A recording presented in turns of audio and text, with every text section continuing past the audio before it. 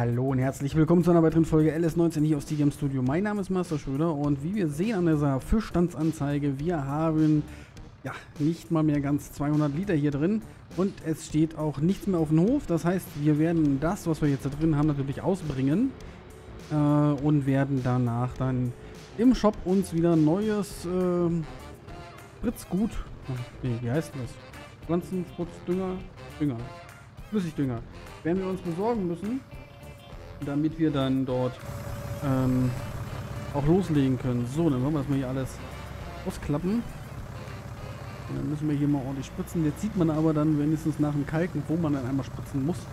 Weil der Kalk verschwindet jetzt, wenn wir jetzt spritzen. Man, der ist dann nicht mehr sichtbar. Finde ich auch ein bisschen eigenartig, aber gut, na gut, kommt der Flüssigkeit drüber. Kann ja sein, dass er sich dann mit in den Boden rein verzieht. Ähm, aber dann haben wir auf jeden Fall schon einmal wieder gedüngt. Das heißt 50% der Düngung ist erfolgreich, bringt uns natürlich auch dementsprechend mehr Ertrag. So, dann wollen wir dann mal gucken, wie viel wir hier vom Hafer dann runterkriegen. Von dem neuen Feld. Beim alten haben wir ja auch schon ordentlich Hafer gekriegt und dann könnte man auch noch jede Menge Hafer verkaufen. Äh, was ist das denn da? Wieso hat er da jetzt nicht... Was? Okay, das sieht ja ulkig aus. Das ist die Stelle, wo ich mal gebremst hatte mit dem Fahrzeug. Weil irgendwie... Hm. Ist komisch. Oder da war noch gedüngt oder so. Oder ah ja, da war bestimmt noch gedüngt. Das ist die Stelle, wo ich mit dem Mähdroscher reingefahren bin in die Saat. Das ist ja interessant. Das ist ja dann doch interessant, dass das so dann noch wieder zu sehen ist. Weil da ist ja noch voll gedüngt. Da muss ja kein Düngemittel drin.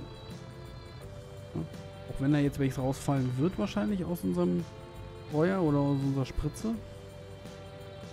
Weiß ich ja nicht. Ich weiß nicht, ob das überhaupt...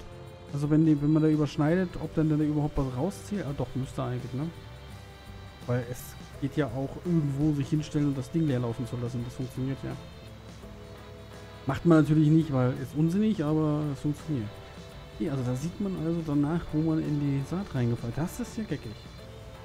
Schön. So, jetzt sind wir gleich alle. So, das war's. Wir werden jetzt äh, dann das ganze Ding hier zusammenklappen auf der Heimfahrt. Hallo? Zusammenklappen, danke. Und dann müssen wir nochmal anständig Düngemittel holen. Einmal die Spritze voll, sind glaube ich 1300 Liter, wenn ich recht informiert bin. Oder 1600 sogar. Weiß ich gar nicht. Gut, aber was soll's, so ist es halt. Und dann können wir weitermachen. Na gut, sind wir halt wieder mal unterwegs auf den amerikanischen Straßen auch auf der falschen Straßenseite. Und naja, es geht auch der Nacht entgegen. Also wir haben es jetzt schon wieder 19 Uhr. Ähm, ich wollte heute zumindest noch, also mit dem quasi Ingame-Tag, wollte ich noch so weit kommen, dass ich gespritzt habe. Und eigentlich wollte ich auch noch das Flügen schaffen, aber ich glaube, wenn es dann zu dunkel wird, dann werden wir lieber rüber bringen über den Tag. Oder über die Nacht. Und dann haben wir natürlich unsere Pferde wieder zu pflegen. Dann haben wir, da haben wir dann wieder ordentlich was zu tun. Ähm, und natürlich am nächsten Morgen werden dann die, da werden nochmal die Eier verkauft. Äh, um mal zu gucken, was da so eine tägliche Produktion ist. Guck mal, der Zug fährt wieder. Das ist schön. Die, die Seite liegen. Mal schön ruhig bleiben. Mit den jungen Pferden. So. Und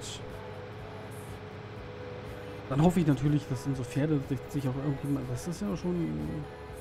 Gut, da, das, da freue ich mich schon drauf, wenn wir dann die ersten Pferde wegbringen können und das erste Geld davon kriegen weil das drückt das Konto sehr, sehr, sehr gut aufpolstern. Und dann ist auf jeden Fall, also mit den Pferden, die wir jetzt haben, ist auf jeden Fall die nächste Parzelle da. Ähm, eigentlich müsste man es wirklich so rollen haben, äh, dass man jeden Tag ein Pferd hat, quasi. Also jeden Tag ein Pferd zum, zum, zum Verkauf bringen kann. Dann hat man insgesamt zehn Pferde. Und dann kannst du jeden Tag, hast du dann die festen Einnahmen von den Pferden in Höhe dessen, was sie bringen halt. Ne? Also über 50k sind es ja. Und die kann man dann, das kann man dann ein Pferd wegbringen, neues holen und dann hast du jeden Tag eine, die feste Einnahmegröße von 45.000 Euro. Also das ist was, was dann richtig, richtig Geld bringt und wo man dann richtig, richtig viel mit, also was auch richtig viel abwirft. Ähm, und alleine da glaube ich dran, dass das denn, das, das wäre eigentlich gar nicht so schlecht für so einen kleinen Hof. Weil wenn man das dann wieder reinvestiert, diese 45.000, einfach sagt, okay, äh, das Geld, was ich durch die Pferde einnehme, das investiere ich dann halt in Kühe oder sowas. Dass man dann sagen kann, hey, wir kaufen jedes Mal dann, was was ein Kuh kostet, aber wird auch nicht mehr als 5000 Euro kosten, glaube ich. Und wir kaufen dann halt eben jedes Mal noch neun Kühe dazu, damit wir den Kuhstall irgendwann voll kriegen. Okay. Also so ist zumindest im Groben und Ganzen der Plan dahinter. Also wie ich das eigentlich mal so vorhabe. Mal gucken, ob wir das hinkriegen. Ähm, oder ob wir denn das wirklich jetzt so halten, wie wir es jetzt haben. Wir haben, glaube ich, jetzt acht Pferde. Wenn ich jetzt richtig bin. Acht Pferde? Oder haben wir sechs? ja, sechs Pferde. Gut, ja. Das ist denn auch, wenn wir also die ersten beiden... Oh, was ist mit ihm los? Rusty ist nicht ganz sauber. Ich muss Rusty nochmal... Ähm... Bohnen hätte ich was gesagt. Nee, ähm, putzen. Alles klar, wir müssen das nochmal in den Stall reinhopsen. Ähm, das müssen wir gleich machen, das dürfen wir nicht vergessen. Das können wir uns nicht leisten, sowas. So eine Schusseligkeit und das wollen wir uns auch gar nicht leisten. Sowas muss ich, achso, ich muss hier hin, ich muss bei Paletten hin und ich brauche einen Düngertank. Oh, 3200, das ist natürlich auch verdammt teuer, das Zeug, ne? Na gut. Wir haben uns für die Art und Weise entschieden, ne? Was ist er denn jetzt? Da steht er genau hinter dem, hinter der Außer oder hinter dem Holm hier. Was steht da noch? Steht noch einmal Saatgut? Er? Steht da einmal Saatgut. Wenn einen Auftrag, den wir hatten, ne?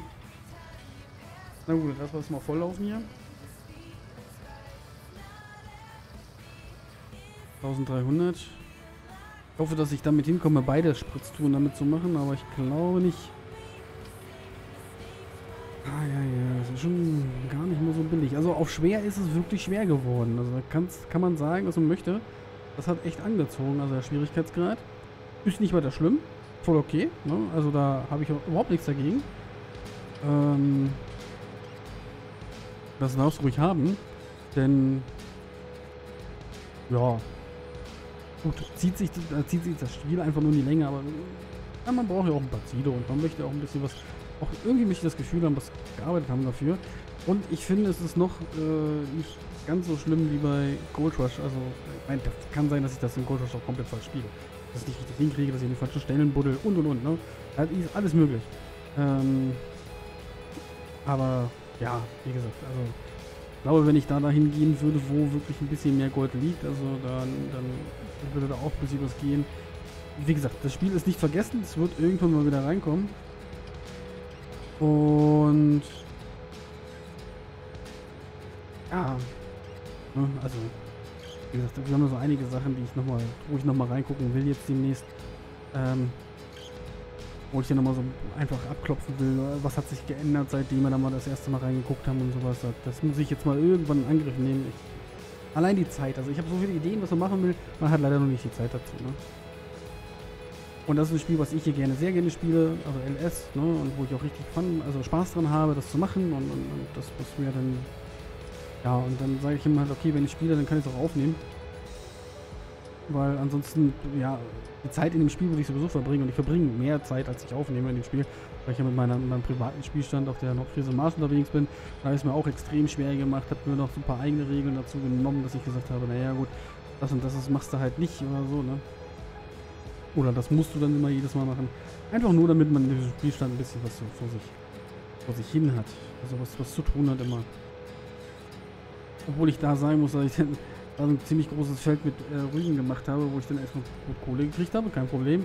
Aber das hat sich schon ganz schön gezogen. Also da haben sich dann auch die, die richtig langweiligen Momente von dem Spiel gezeigt. Ne? Also das muss man schon sagen.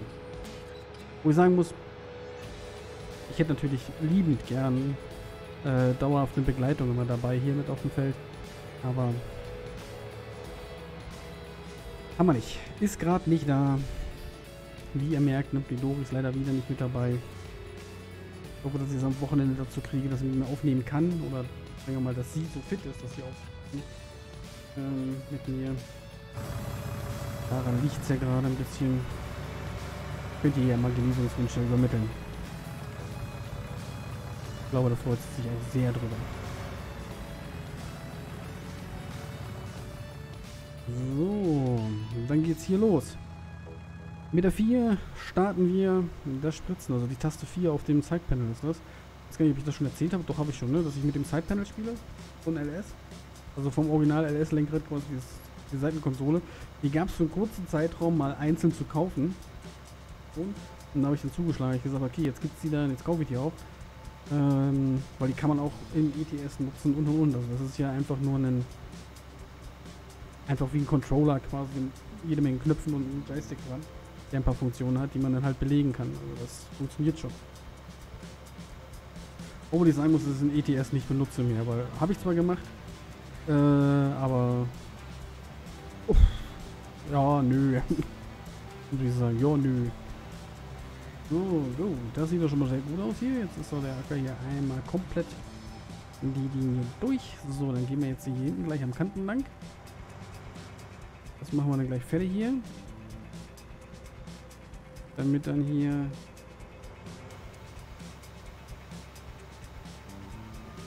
die Sache läuft.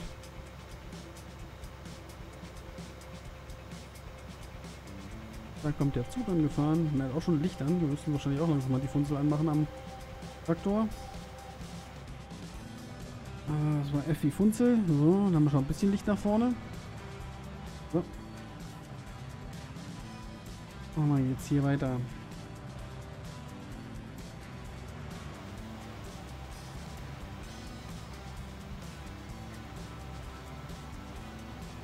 Immer schön drauf mit dem Dünger.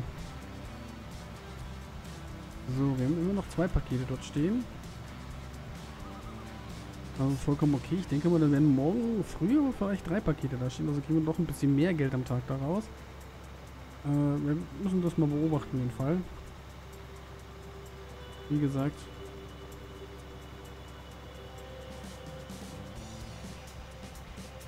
Puh, schwierig. Aber geht noch. So, dann das auch durch. Dann nach hinten. So, dann steuern wir mal darüber. Wir müssen Rusty noch pflegen. Ne? Das müssen wir noch vorm Spulen unbedingt machen. Das dürfen wir nicht vergessen. So. Nicht, dass wir da nachher noch quasi wieder ein Pferd haben mit Einnahmenbußen. Oder Einnahmen einbußen, die wir nicht... Nee, das, das ist mir echt, also wenn die jetzt, das machen die pro Tag, machen die 5000 das Pferd, also äh, nee, dann nicht ganz 5000, aber auch jede Menge Geld und mein, mein Vorschlag, den ich mal gebracht habe, dass wir da einfach mal sagen, okay, wir verkaufen mal vier oder fünf von den Tieren oder bis mal zwei von den Tieren schon mal und holen uns dann für das Geld, was wir dadurch gewinnen, also wir holen gleich wieder zwei neue, aber mit dem Gewinn können wir was machen. Der wurde ja nicht ganz angenommen. Da müsste man dann nochmal wahrscheinlich intervenieren und nochmal ganz kurz mit ihr sprechen darüber, dass das vielleicht keine, gar keine so schlechte Idee ist, wenn wir uns auf diese Art und Weise mal kurzzeitig klar unsere Pferde erstmal wieder abgeben und den Fortschritt, der ist erstmal wieder weg, fängst wieder bei, bei Nuller bei den Pferden, aber du hast natürlich den Gewinn raus. Ne? Also wenn wir jetzt alle Pferde verkaufen würden, würden wir ja schon doch oh, bei den sechs Tierchen, die sind ja dann doch schon, die ein oder anderen sind glaube ich 17.000 schon wert. Also wenn wir 12.000 Gewinn pro Tier machen bei zweien, ist schon mal gar nicht so schlecht, würde ich sagen. Dafür, dass sie dann ein bisschen Hafer gefressen haben und wir jede Menge Technik dafür kaufen mussten. Aber da könnte man sich dann schon größere Technik vielleicht leisten dafür oder halt eben die Ballentechnik da rausschlagen. Und dann einfach sagt, okay, wir geben die Pferde ab dafür, dass wir die Ballentechnik kriegen. Dass man dann vielleicht eventuell auch ein bisschen Wiese, Heu geht ja nicht, aber dass man dann Gras, äh, Silageballen macht mal einmal eine Runde. Äh, damit dann die Tierchen da ein bisschen was bekommen. Na gut, wir werden ja, wenn wir den anderen Acker da drüben haben, haben wir ja noch ein bisschen mehr Grasfläche, aber eigentlich so viel auch nicht, ne? Jetzt müssen wir mal gucken dann. So, dann wieder hoch.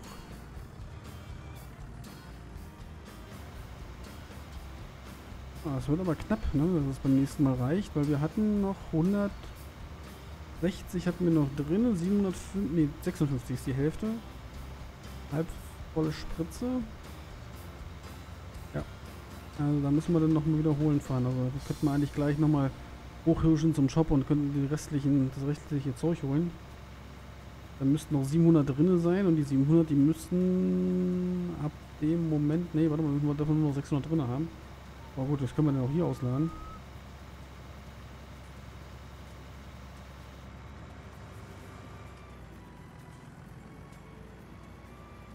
Also ein bisschen mehr als 3200 Dollar hauen wir raus. Dafür, dass wir hier gedüngt haben zweimal.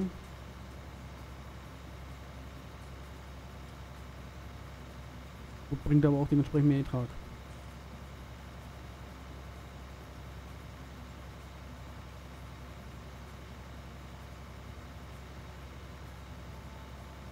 So sieht's aus. So, Rusty ist der Schwarze, den, also der... Was ist das, Rappe? Ich glaube ja. Black Beauty. So, da gehen wir jetzt mal hin hier. Springen wir mal kurz aus dem Traktor raus. So. Dann gehen wir ganz kurz zu Rusty. Yep, der war nicht ganz sauber, der Junge. Das ist nicht gut. So, dann 5 gedrückt fürs Zusammenklacken. Und dann können wir uns den wunderschönen Grober schnappen oder Flug. Also den tiefen Locker schnappen wir uns natürlich. Ne? Was anderes haben wir ja gerade nicht dafür da. So ein 6 Meter Flug wäre natürlich auch schon mal was Schönes.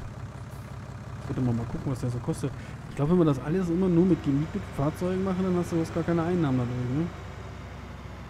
Also wenn du jetzt das mieten würdest, das mieten würdest, das mieten würdest. Ein paar Geräte brauchst du echt selber. Gut, dann abgehangen das Ganze. Vorgefahren. Gucken wir mal, was kostet denn so ein... Ich kann ja einfach mal spiogentieren. Äh, was kostet denn so ein etwas dickerer Grupper? 3 Meter, 3 Meter. Also er muss ja mehr als 4 Meter haben. 4 Meter hat ja unser schon. Aber der hat mit Düngefunktion, das ist natürlich auch nicht schlecht, 94. 6 Meter, aber der kostet schon 39.000. Und wenn wir den... Ja, der würde dann natürlich auch wieder fast 2000 Dollar kosten in der... Äh, und wie, da brauchen wir 300 PS für. Oh. Sagt doch mal nicht mal, der das ziehen könnte. Ach, du ahnst es ja nicht. 100 PS dafür. Haben wir noch andere grober Ecken, hier Kreiseleckengelumpe, das haben wir noch. Ähm, das kann man natürlich mit der D830 hier koppeln. Warte mal, die D830, haben wir die nicht? Das ist nicht die D830? Das ist die D830. Die Kreiselegge. Die kostet 15.000. Kostet 95 PS. Äh, die D8 Dingenskirchens, was braucht die? Warte nur, Saattechnik. Die D830 braucht 85 PS. Macht äh, summa summarum 2 äh, im Sinn, 3 hin. Äh, jetzt weiß ich gar nicht mehr, was 85 plus 95 sind 180 PS. Die hätte unser großer Traktor, hätte die. Hm. Dann hätten wir bloß noch einen Arbeitsschritt, ne? Dann würden wir jetzt in die Kreiselecke dazwischen hängen. Und dahinter die Seemaschine. Und dann hätten wir quasi uns eine Direktsaatmaschine aus unserer Seemaschine gemacht und müssten bloß einmal fahren. Breite müsste ihr genauso haben, ja. Und nochmal 4 Meter Breite. Okay. Ich glaube, das ist gar nicht mal so schlecht. Und die AG AGCO 650, was ist das für eine Seemaschine? Das hier so ein Einzel Einzelkornleger. Warte mal, warte mal. Einzelkorn-Technik. Nee, doch. Nee, ist kompatibel mit der AGO 1100. Was auch immer die AGO 1100 ist. Was ist denn... Müsste doch aber sowas sein. Nee. Irgendwas, was 3 Meter breit ist.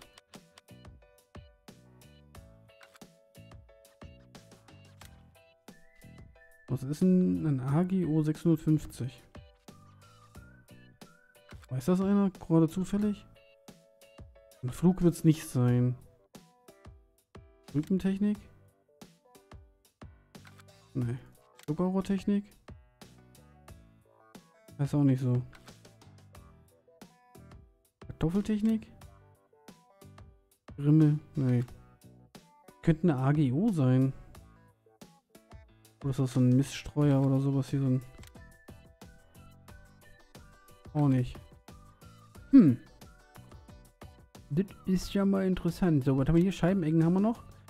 Äh, da haben wir hier eine 5 Meter breite 140 PS. Okay, das geht auch für 25.000. 180 PS. Eigentlich auch nicht schlecht, ne? Scheibenecke würde auch gehen. Aber ich glaube, wir werden uns jetzt erstmal für die Kreiselecke entscheiden. Die 15.000 ausgeben, damit wir uns einen Albert-Schritt sparen. Nee, wir sparen das Geld. Wir fahren zweimal noch. Das kriegen wir hin. Aber wir wissen Bescheid, das könnte man machen. Also wir könnten uns dort den Arbeitsschritt dann ersparen und alles mit dem mit einem Gang dann machen. Müssen wir mal gucken. Das muss ich mit dir besprechen. Kann ich nicht einfach selber jetzt hier entscheiden und selber machen. Ähm, da wird sie wahrscheinlich dann gerne auch mitsprechen wollen. Und was dazu sagen. So, ist da jetzt so Unkraut aufgewachsen? Nee, ist noch nicht. Aber wir werden auf jeden Fall jetzt die Nacht durchspulen und sehen uns morgen früh wieder hier an dieser Ecke vom Acker. Und werden dann mit dem Tiefenlockerer beginnen, äh, das Feld quasi umzuflügen. Gut. Ich hoffe, euch hat es gefallen. Wenn ja, könnt ihr gerne ein Like da lassen. Und oder ein Abo. Ich würde mich riesig freuen, wenn wir uns beim nächsten Mal wiedersehen. Bis dann. Tschüss.